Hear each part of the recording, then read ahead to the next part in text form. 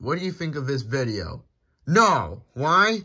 But worst of all, in this scene when they still have a picture out of him in the ride. Anyways, goodbye.